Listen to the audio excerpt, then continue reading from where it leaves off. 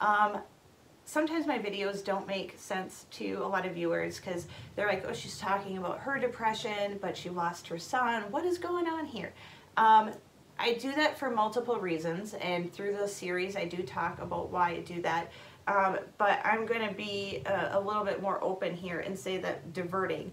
It's very difficult for me to talk about Isaiah in a sense other than like my very, I lost my son, this is what I've had to say.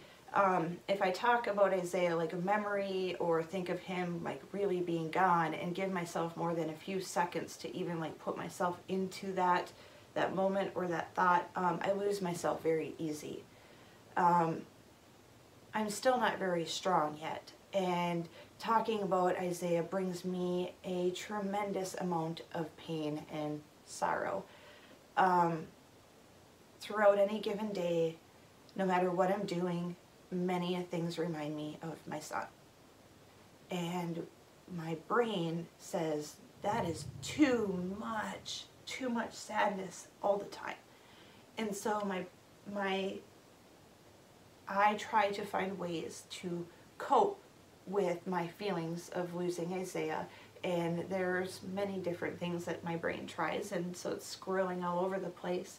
Um, but one of them is these vlogs and these vlogs I'm able to talk about what's going on with my mental health. I'm able to reach people and let them know that they're not alone in their feelings, in their depression, whether it be in relation to mine or to Isaiah's. And um, it's a way for me to be able to deal with my struggles without having to deal with my struggles sometimes.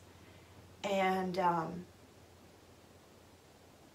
every time I question if I'm doing the right thing by doing these, these videos, um, because I'm not really quite stable yet, they recommend waiting a couple years before being a mental health advocate if you're a suicide loss survivor. Um, and I, every time I question whether I should be doing this because I'm not sure I'm capable, because I am all over the place, um, I get messages from from people that are bereaved, like Gina or James, that they're going through a lot of similar things. And it validates, especially like James and Tanya, your family, knowing that you lost your Ross, you know, just eight days from Isaiah. And when I see like your posts and I know that like you're going through that same kind of shit that we're going through and like those same feelings and I'm able to show it to Steve and we're able to go, yep, it's pretty spot on. It reminds me that doing this reminds others, like I keep saying, that they're not alone. Whether they can relate to Isaiah, whether they can relate to me, whether they can relate to me and my depression or me and my loss, it doesn't matter.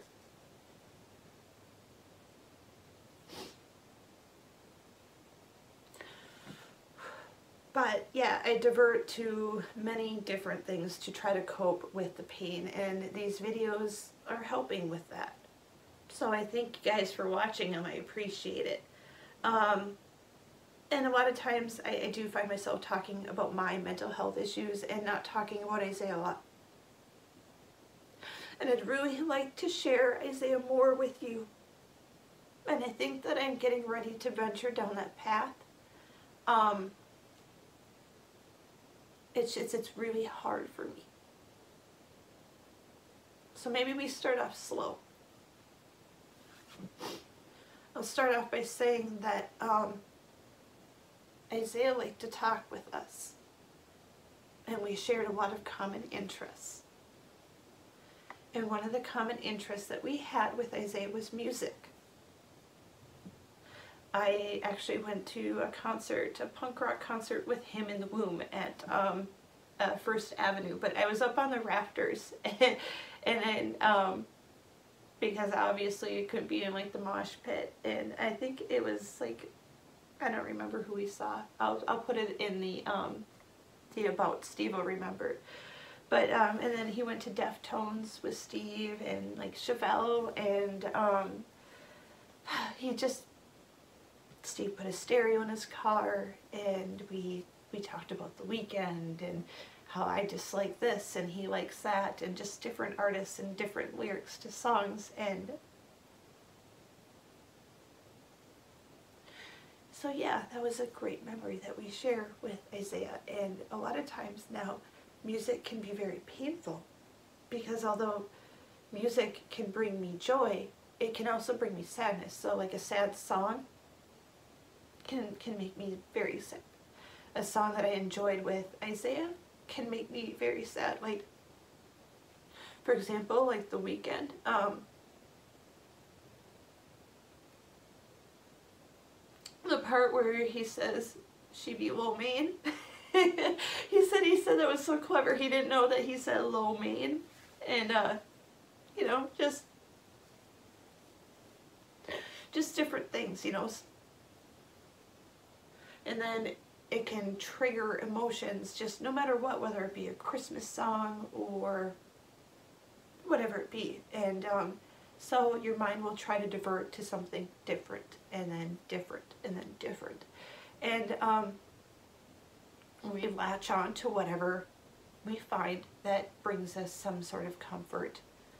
And um, I guess my comfort is being able to try to reach out to other people and talk about my mental health and say that uh, this is the things that I go through.